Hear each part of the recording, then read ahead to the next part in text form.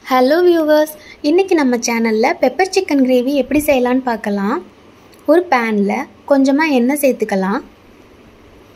ஒரு பிரியாணி இலை ரெண்டு கிராம்பு பட்டை ஸ்டார் கொஞ்சமாக சோம்பு சேர்த்துக்கலாம்.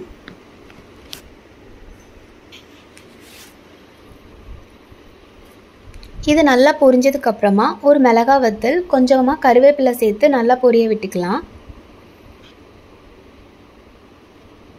ஒரு பெரிய வெங்காயத்தை பொடி பொடியாக கட் பண்ணி சேர்த்துக்கலாம். கொஞ்சம் உப்பு போட்டு நல்லா பொன்னிறம் மாற வரைக்கும் வதக்கிக்கலாம். ஒரு டீஸ்பூன் இஞ்சி பூண்டு விழுது சேர்த்துக்கலாம்.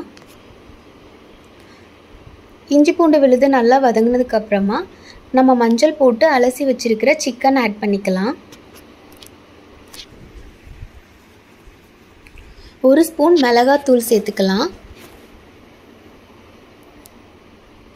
இதை நல்லா கிளறி விட்டுட்டு ஒரு ஸ்பூன் பெப்பர் சேர்த்துக்கலாம். மிளகுத்தூள் சிக்கனில் ஒட்டுற மாதிரி நல்லா கிளறிக்கலாம். இப்போ நமக்கு தேவையான தண்ணி சேர்த்து நல்லா சிக்கனை வேக வச்சு எடுத்துக்கலாம்.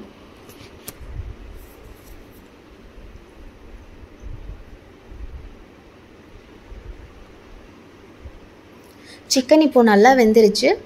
கொஞ்சமாக பெப்பரும் கொஞ்சமாக சீரகத்தூளும் சேர்த்துக்கலாம்.